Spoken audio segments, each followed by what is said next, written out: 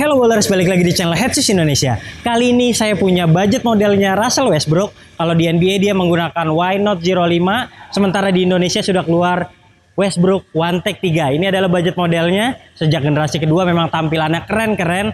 Tapi generasi ketiga ini punya performa yang ditingkatkan. Bahan atasnya udah nggak pakai kanvas lagi. Dan ini membuatnya lebih fleksibel. Lihat deh. Buat Anda seorang pemain kecil yang lincah di lapangan, menggunakan sepatu ini nyaman banget bobotnya enteng banget buat yang suka lari-larian kayaknya ini harus menjadi wishlist Anda. Oke, bagi yang tertarik membeli sepatu ini, kalian bisa langsung klik link yang ada di deskripsi dan jangan lupa masukkan kode promo Headshus untuk free ongkir. Langsung saksikan video ini sampai selesai.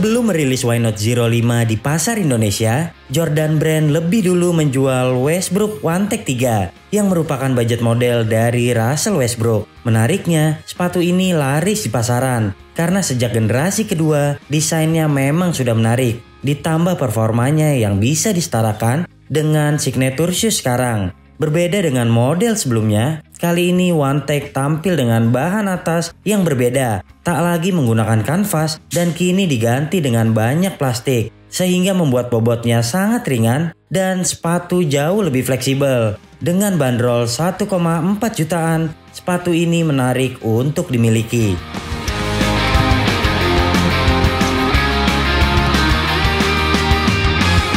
Traksi mengusung pola herringbone dengan kombinasi bintil seperti pada Why Not 04. Traksinya tergolong baik untuk berhenti lurus dan lateral. Selain itu, ia juga menimbulkan bunyi berdecit dan sudah dilengkapi dengan outsole XDR sehingga menawarkan keawetan yang cukup untuk penggunaan outdoor. Meskipun kami pegang, karetnya tidak cukup keras. Setelah digunakan empat kali, kami merasa traksinya mudah mengangkut debu. Jika ingin traksi tetap baik, anda kami sarankan rajin membersihkannya. Berbicara transisi, bisa dibilang ini salah satu yang terbaik. Bahan atas yang fleksibel, ditambah outsole yang dibuat melengkung, memudahkan Anda dalam berlari. Nilai 8,5 untuk traksi.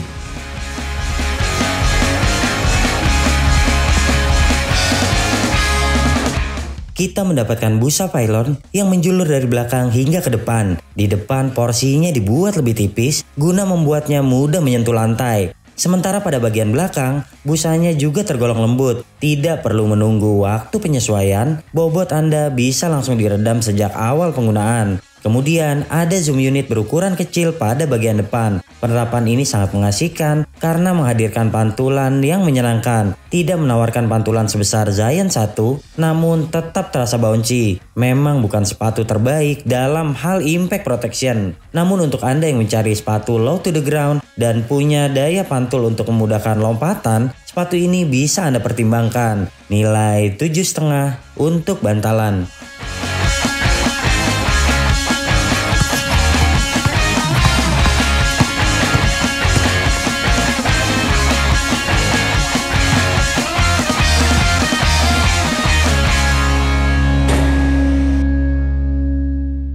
Oke bowlers, buat yang tarik membeli sepatu ini kayaknya nggak ada masalah untuk memilih true to size. Bahkan buat yang kaki ramping kayaknya juga bisa memilih down size sedikit karena selain memasukkan kakinya gampang, kemudian bahan atasnya tipis, sepatu ini juga karakternya cukup lebar. Jadi pilihan true to size atau down size sedikit kayaknya nggak ada masalah untuk membeli Westbrook One Tech 3 ini.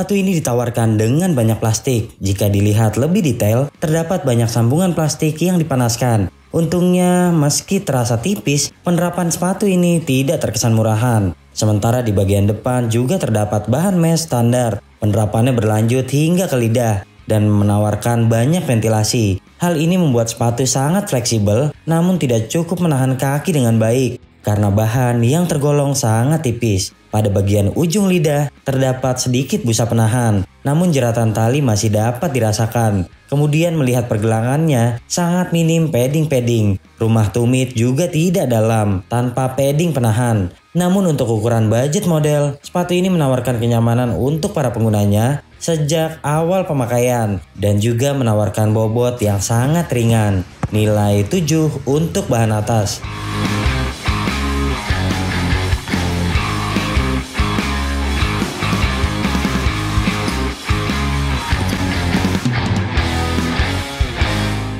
Sepatu ini tergolong lebar, Anda tidak akan merasakan sempit di ujung sepatu karena terasa banyak ruang yang dapat membuat jari ke sana kemari. Base sepatu juga tergolong lebar, sehingga tidak ada masalah dalam hal kestabilan. Ditambah sepatu yang low to the ground, Anda jadi lebih mudah merasakan lapangan dengan sempurna. Kuncian di bagian tengah terbantu oleh dinding yang terdapat di samping. Hal ini meminimalisir gejala terkilir saat bermanuver.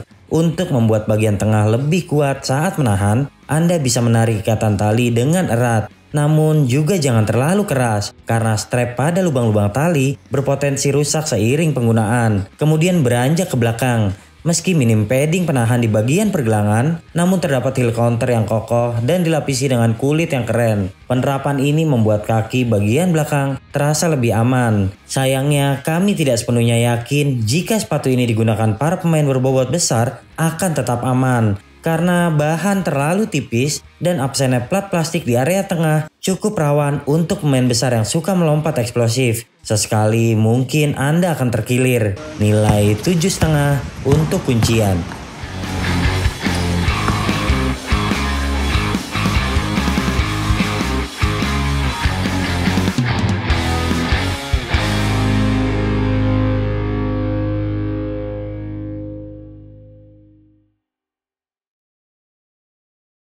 Oke bowlers, untuk ukuran budget model, Westbrook One Tech 3 ini banyak banget kelebihannya. Bahkan saya lebih suka menggunakan sepatu ini ketimbang Westbrook Why Not Zero yang seri keempat. Sepatu ini benar-benar ringan, fleksibel, enak banget buat lari-larian. Kemudian tampilannya juga oke, misalnya Anda suka berpergian menggunakan sepatu basket, kayaknya One Tech 3 ini bisa jadi pilihan. Apalagi di bagian depannya ini, zoomnya benar-benar enak banget buat lompat-lompatan. Dan yang paling menarik adalah potongannya pendek, jadinya semakin nyaman kalau buat Anda pemain cepat. Nah, paling kekurangannya adalah mungkin untuk Anda yang bobotnya berat, menggunakan sepatu ini terutama di bagian ankle ini terasa begitu goyang dan sepertinya sepatu ini tidak memiliki kekuatan untuk digunakan orang yang berbadan besar karena bisa dibilang midsole-nya ini cukup tipis sehingga seiring penggunaan tentu akan terasa sakit untuk Anda yang berbobot berat karena dia tentunya akan semakin mengempes dan itu tidak akan nyaman digunakan untuk jangka waktu yang cukup lama. Oke, secara keseluruhan sepatu ini layak dinilai 8 dari 10 penilaian Headsis Indonesia. Oke bowler, jika Anda suka video ini jangan lupa klik like, subscribe, serta tulisan komen di kolom komentar. Main-main juga ke Instagram kami di headsis.id dan headsis.store. Sampai jumpa di video kami selanjutnya. Ciao!